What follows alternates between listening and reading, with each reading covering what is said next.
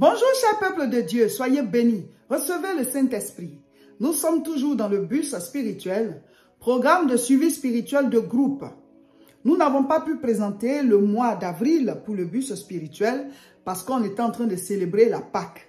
Donc nous sommes entrés en avril, le 1er avril, et ce jour-là, c'était le lundi de Pâques. On a préféré donner des prières de bénédiction, voilà, pour la Pâque. On célébrait la délivrance pascale.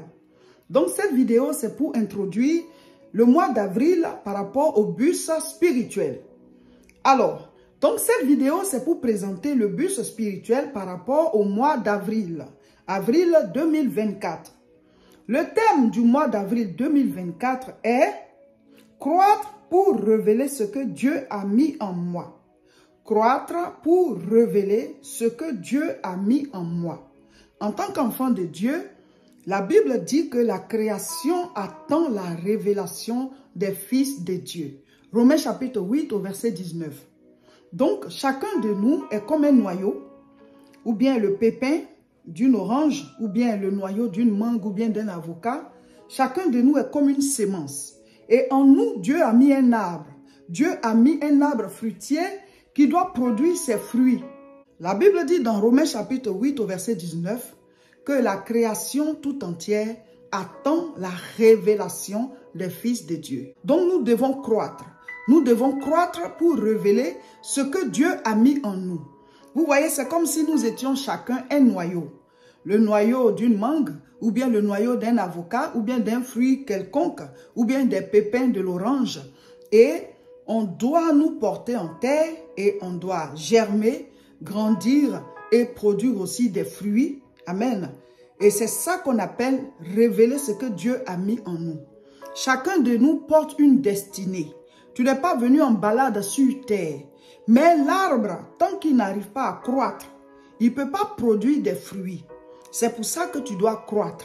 Tu dois grandir de manière spirituelle comme de manière physique. Tu dois grandir dans tous les domaines et tu dois t'accroître dans chaque domaine de la vie. Amen. Et c'est notre thème de 2024. Donc, avril 2024, c'est croître pour révéler ce que Dieu a mis en moi. Et chaque jour, nous avons un passage de la Bible à lire. Et pour ce mois d'avril, nous lisons le livre des actes des apôtres. Mon frère, ma soeur, des gens ont montré des actes, ils ont montré des choses, ils ont posé des actes, ils ont fait, ils ont, ils ont montré des actions. Parce que Dieu est dans leur vie. Quand ils ont accepté Jésus-Christ, ils ont posé des actes et on dit les actes des apôtres. Nous aussi, en tant que chrétiens, nous devons poser des actes. Nous devons poser des actes. Nous aussi, nous devons avoir nos actes. De ce qu'on est cru en Dieu, on doit voir nos actes. On doit voir nos œuvres. La foi sans les œuvres, elle est morte. Par tes œuvres, tu montres la foi que tu as en Dieu. Amen. Donc les actes des apôtres, c'est pour nous motiver à nous aussi poser des actes par la foi. Amen. Et chaque jour, on a un chapitre à lire. Il ne faut pas le rater, il faut, il faut le faire. Tout ce qu'on donne comme programme, vous devez le faire. Chacun de nous doit faire un effort pour appliquer le programme à la lettre. Nous voulons être suivis spirituellement pour croître. Et Dieu a permis qu'on fasse ce programme. Donc, il faut appliquer tout ce qu'on dit pour que tu puisses avoir les résultats. Donc, lis Actes des Apôtres, un chapitre chaque jour. Et quand il y a une vidéo qui est mise en ligne, mais mets en commentaire ce que tu as compris de la lecture biblique du jour. Amen. Et chacun de nous doit prier une heure en 24 heures. Pendant la période pascale, on avait demandé à ce que chacun prie deux heures du temps en 24 heures. Une heure dans la journée, une heure dans la nuit. Chaque jour, tu dois prier une heure du temps.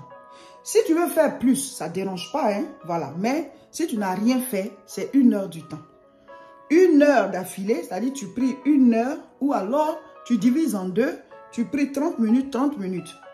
Et chaque vendredi nuit, chacun de nous doit faire une mini veillée d'une heure. C'est-à-dire que le vendredi, là, ça te fait deux heures. Une heure dans la journée ou bien, voilà, 30 minutes, 30 minutes. Et puis encore la nuit, tu fais une mini veillée où toi seul, tu parles avec Dieu pendant une heure. Quand chacun de nous applique ça comme ça, ben, ta relation avec Dieu, elle est entretenue.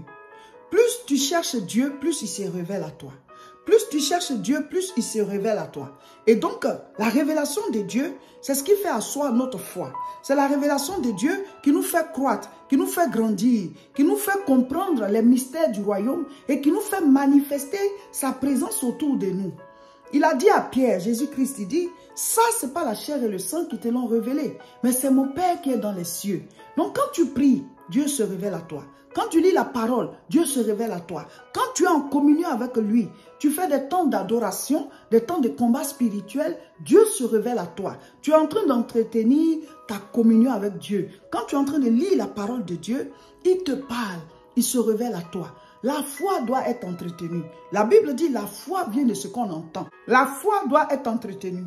Plus tu lis la parole, plus tu pries, plus tu, tu écoutes les enseignements, plus tu es dans la présence de Dieu, ta foi est entretenue, ta foi est nourrie, ta foi est bâtie, ta foi est en train d'éclore et ta foi est en train de, de, croître pour porter des fruits. Ce n'est pas quelqu'un qui va nourrir ta foi à ta place.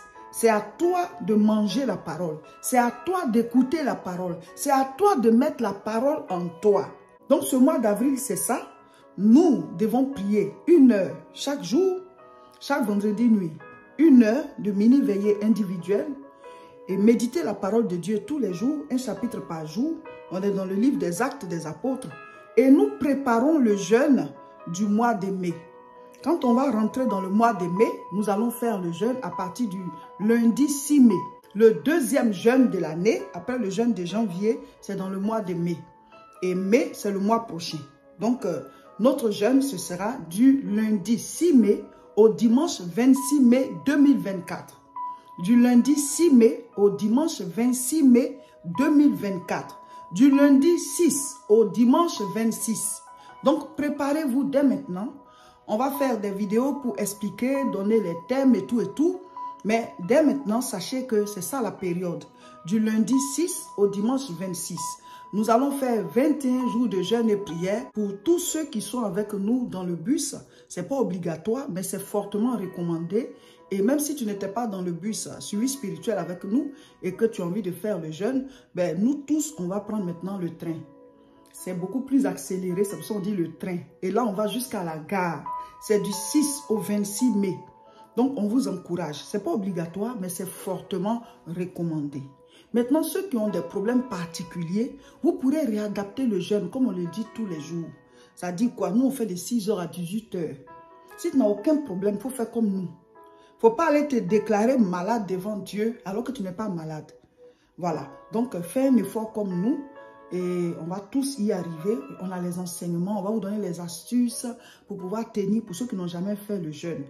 Maintenant, ceux qui sont malades ou bien qui ont un problème particulier, c'est-à-dire quoi, une femme enceinte, une femme qui allait, quelqu'un qui est vraiment sous traitement par rapport à, une maladie, voilà, ça dit que toi tu vois que tu ne peux pas faire le jeûne, ben, il faut réadapter. Tu peux te lever très tôt, manger, et puis prendre tes, tes médicaments, et à partir de 6 heures, tu commences le jeûne, et tu arrêtes peut-être à midi, ou bien à 14 heures, ça dépend de toi. Ou alors, bah, tu prends tes médicaments, puis tu commences le jeûne à 8 heures, tu arrêtes à 16 heures, ou bien tu arrêtes à midi. Ça dépend de vous. Si vous avez un problème particulier, il faut adapter. Dieu le sait.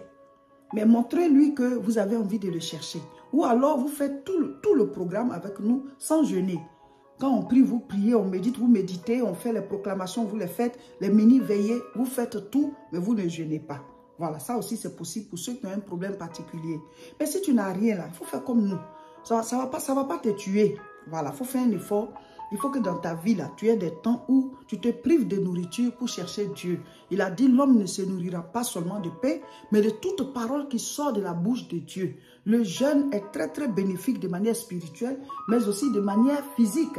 Parce que aujourd'hui, même les médecins recommandent que de temps en temps, il faut laisser le corps voilà, sans nourriture pour pouvoir se débarrasser des toxines et tout. Voilà, donc nous, on n'est pas dans le domaine médical, mais spirituellement parlant, c'est très très bon de jeûner. Et tous les hommes spirituels, toutes les femmes spirituelles doivent jeûner et même les autres religions, et même les sorciers, les mystiques qui jeûnent. C'est pas à cause d'eux qu'on jeûne, mais c'est pour vous dire que tu ne peux pas être spirituel sans jeûner de temps en temps. C'est comme ça. Donc, nous devons jeûner, voilà, passer dans la présence de Dieu et chacun de nous va faire une liste de 10 sujets de prière ou bien plus et nous allons prier. Vous allez recevoir toutes les informations, voilà, tout le programme et tout. Préparez-vous. Sachez tout simplement que du 6 au 26 mai 2024, nous serons en 21 jours de jeûne et prière. Nous prenons le train. Passez l'information autour de vous. Vous pouvez faire le jeûne en famille. Vous pouvez le faire avec votre conjoint ou bien votre conjointe. Vous pouvez le faire avec vos parents. Ça dépend de vous, avec vos amis, dans votre entreprise. Tout le monde peut faire ce jeûne et vous, vous devez avoir des sujets de prière que vous allez présenter à Dieu. Alléluia. Des sujets dans tous les domaines. Vous faites une liste de 10 sujets et vous allez parler à Dieu et vous verrez vous-même les témoignages. Le premier bénéfice, c'est d'abord notre reconnexion avec Dieu, la communion que nous recevons de lui, les enseignements qu'il y a dans les jeunes, les temps de prière et puis ensuite il y a les exaucements. Donc, pour ce mois d'avril, nous lisons le livre des actes des apôtres. Tu lis et quand il y a une vidéo qu'on a mis en ligne, tu mets en commentaire ce que tu as compris sur la lecture biblique du jour. Il est important de partager avec les autres ce qu'on a compris. Et aussi dans le bus spirituel, de temps en temps, on met en ligne des questions, voilà, ou bien des partages par rapport à la parole de Dieu, ou alors par rapport à un sujet de la parole qu'on met en ligne. Mais venez commenter, venez écrire, venez dire quelque chose.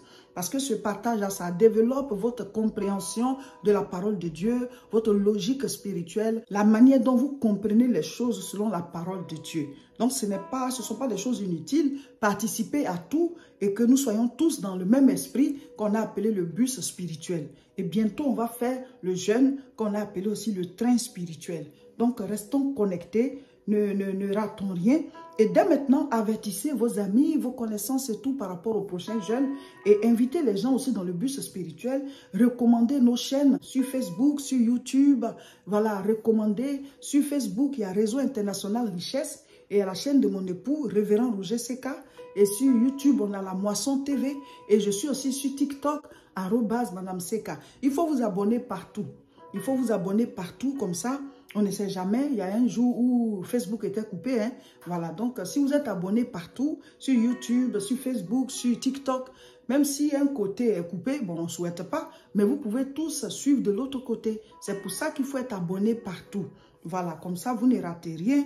Et s'il y a un côté qui est handicapé, on peut toujours se retrouver de l'autre côté le temps que ça se rétablisse ici. C'est comme ça qu'il faut faire. Donc, recommandez nos chaînes autour de vous. Il faut que les gens s'abonnent pour pouvoir suivre ces bons enseignements, pour pouvoir croître spirituellement comme c'est votre propre cas. Donc, donc si tu trouves, tu trouves une bonne chose, il faut en faire profiter aux autres. C'est comme ça. Alléluia. Donc aujourd'hui, chacun de nous doit méditer la parole de Dieu. Chacun de nous doit prier. Et vendredi, chacun fait sa mini-veillée. Non seulement il prie dans la journée, mais il fait sa mini-veillée la nuit pendant une heure. Et vous-même, vous mettez une adoration ou bien les prières qu'on a déjà mises en ligne. Vous les mettez et vous priez avec. Vous priez avec.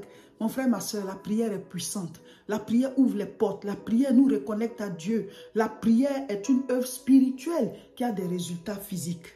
Nous voudrions vous inviter à la grande croisade de prière de ce samedi 6 avril. Ce samedi 6 avril, nous serons à Aubervilliers pour la grande croisade de prière. Le thème c'est « Vivez dans le surnaturel ». La, la croisade dernière, celle de mars, nous avons parlé de viser le surnaturel. Et cette fois-ci, c'est « Vivez dans le surnaturel ». Écoute-moi mon frère, ma soeur, est-ce que tu sais que Dieu est surnaturel? Dieu n'est pas naturel, Dieu est surnaturel. Dieu est au-dessus de la nature parce que c'est lui qui a créé la nature. Les lois de Dieu dépassent les lois de la nature. La force de Dieu dépasse la force de la nature. la puissance de Dieu dépasse tout ce qui peut avoir puissance sur cette terre. C'est pour cela que je vous invite à venir. C'est pour cela que nous vous invitons à venir à la croisade. Quand vous venez comme ça prier, la présence de Dieu qui est là par nos prières, par nos invocations, par nos louanges, par nos adorations, cette présence-là, elle guérit. Cette présence, elle délivre. Cette présence, elle libère. Il y a des œuvres diaboliques qui ne sont pas visibles à l'œil nu. Le monde des ténèbres agit, manipule des vies. Il y a des gens qui sont poursuivis par des esprits de mort. Ça dit qu'à un certain moment, cet esprit rentre en action et il y a un accident ou bien il y a quelque chose qui se passe et la personne meurt. Alors que ce n'était pas son jour. Le monde des ténèbres agit, manipule des vies. Nous préparons aussi la CIMA. La CIMA, ce sera une grande rencontre chrétienne le samedi 15 juin à 14h30 à Champigny-sur-Marne. Le lieu, c'est le Salon du Grand Paris. 8 rue Serpente, 94 500. Champigny-sur-Marne. Grand rassemblement chrétien. Grand, grand temps de rencontre avec le Saint-Esprit. Grand temps de rencontre avec le Saint-Esprit. Le Saint-Esprit, c'est l'Esprit de Dieu. L'Esprit du Christ. Mon frère, ma soeur, prépare-toi. Prépare-toi. Le thème, c'est sortir des prisons spirituelles. Le Saint-Esprit va briser les prisons.